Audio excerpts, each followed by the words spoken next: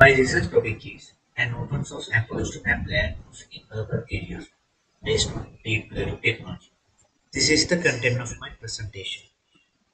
We know that land is the main production factor of the economy of any country. Therefore, the economic decision of a country must be translated into land use term because it is important to government administration, policy formulation and resource distribution.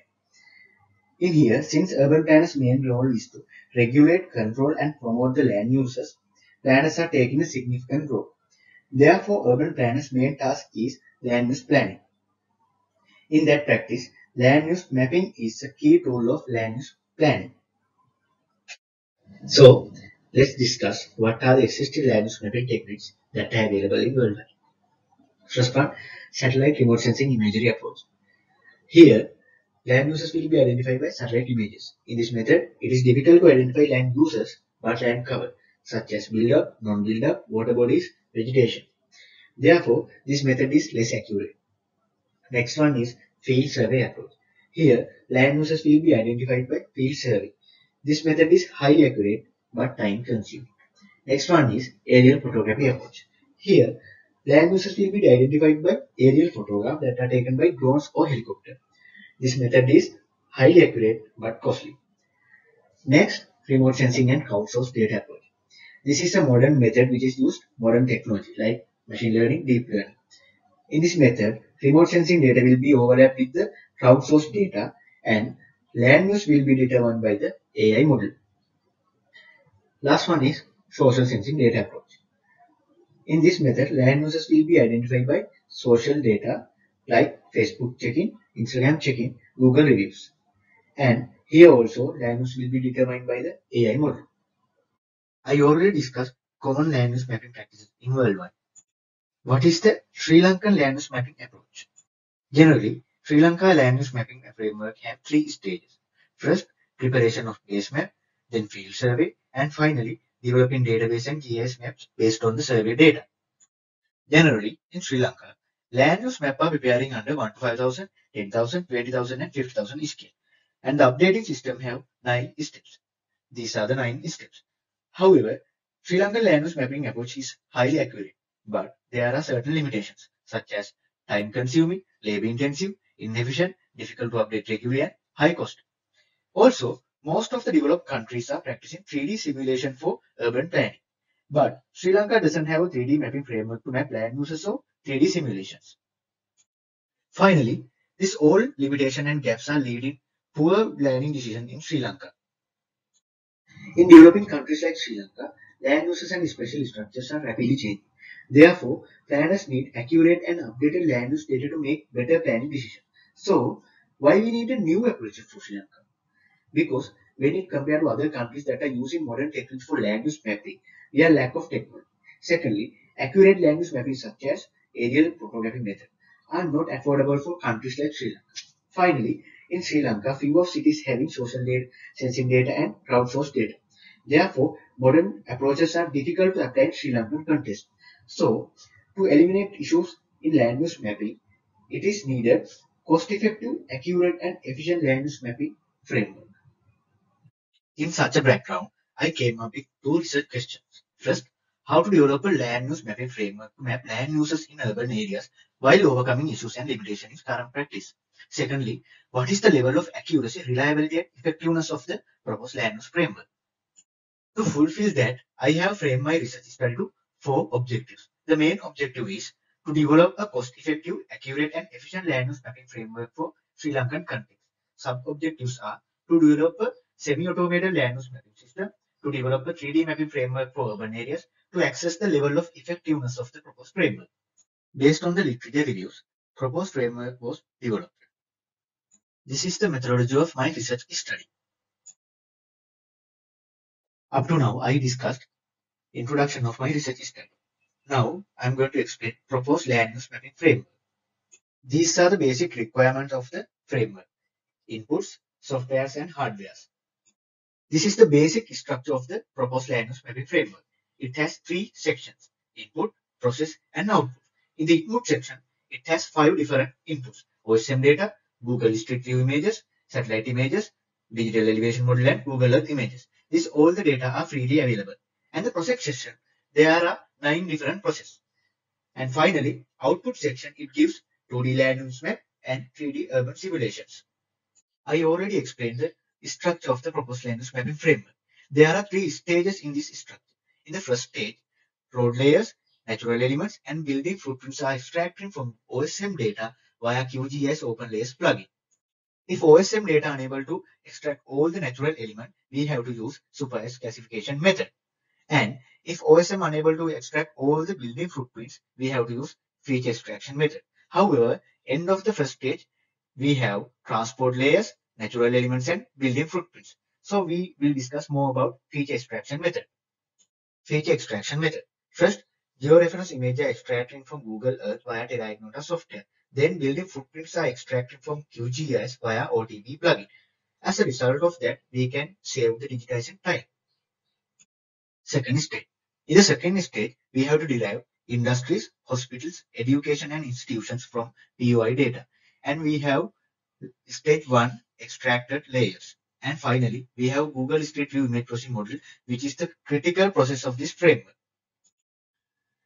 Using this model, we can identify commercial building, residential building from a given image. So end of the second stage, we can prepare 2D land use from the generated layers. So let's discuss more about Google Street View image processing model. Image processing model is a convolutional neural network which is comes under deep learning technology. Basically, this kind of program able to identify object features from a given image. This is the CNN network architecture. So in this study, I developed a CNN architecture or neural network to identify residential and commercial building from a given image. To that, I wanted street view or streetscape images to train this network. To fulfill that requirement, I choose Google Street View images because Google Street View is the largest geotag streetscape image source in the world. Then I developed a Python program to download Google Street View image automatically via GSV API. This is the complete process of the image sample preparation. First, generate coordination for building footprints and based on that coordinates, image were downloaded. Then, it was needed to manually categorize them into five different classes to train the model and this is a one-time requirement. These are some samples for land use categories. These are samples for error images. And this is the convolutional neural architecture that I developed. Stage 3, which is the final stage of this proposed land use mapping framework. As I already discussed, we can input geotag street escape images or Google Street View images, which is already geotagged into this model and it has trained to identify these categories. And end of this stage, we can develop 3D simulation of the city by integration of digital elevation model. This is an example for 3D urban simulation. Here we can see topographic information and land use type with the height. Up to now, I discussed the land use mapping framework structure. Now we are going to discuss application of this framework. In this study, there are three case studies, Boralesgamuwa, Hikkadu and Ranna. This is the Boralesgamuwa 3D simulation and 2D land use map of Boralesgamuwa. This is the Boralesgamuwa 3D simulation and 2D land use map of Boralesgamuwa. 3D simulation of Hikkadu. 2D land use in Hikkadu. Now I am going to explain analysis part of this study. There are two type of analysis. First, accuracy assessment and second one, effectiveness of the proposed framework. First, I compared proposed method land use data and ground verified land use data. And it scored 95% in Boralesgamuwa. And in Hikkadu, 92%. 94% in the Ranna.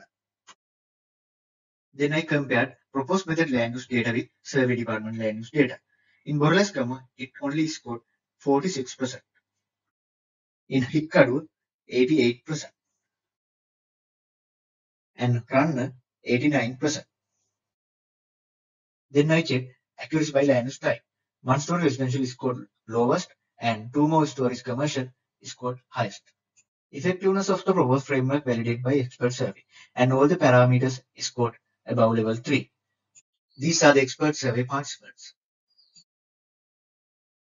There are three major suggestions from the expert survey. Study deeper into feature extraction tool, which is a valuable tool for mapping, and find a way to measure the height of the tall building and simplify the process.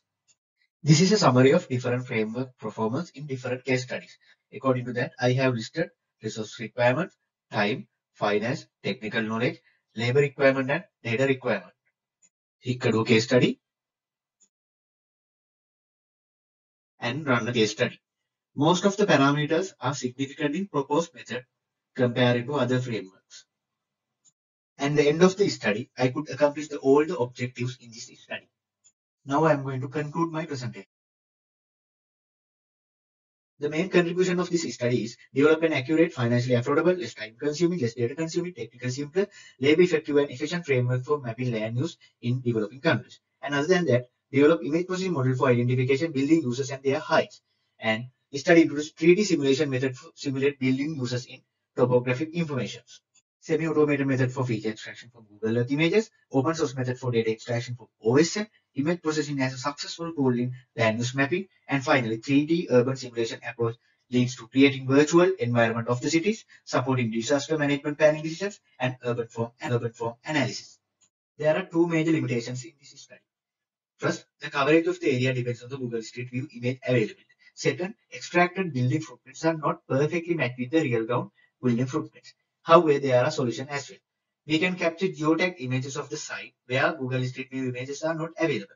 And we can use manual digitization instead of feature extraction tool. These are the recommendation and future studies. Novelty of this study. Introducing deep learning image processing technology for land mapping. Introducing free and open source urban simulation framework. Applicability of Google Street View images in building use identification. And finally, semi-automated land use mapping framework. And all the land use categories have significant accuracy in this proposed framework. Effectiveness analysis proved this framework is a significant for land use mapping in Sri Lankan context. Especially in Sri Lankan urban planning practice, planners can prepare 2D land use map and 3D urban simulation using this framework. And 3D simulation and topographic integration will provide more accurate image of the city. Further, 3D simulation helps develop scenarios of the cities. Finally, Accurate and regularly updatable land use will lead to better planning decisions in Sri Lanka. These are the references I used in this study. Thank you.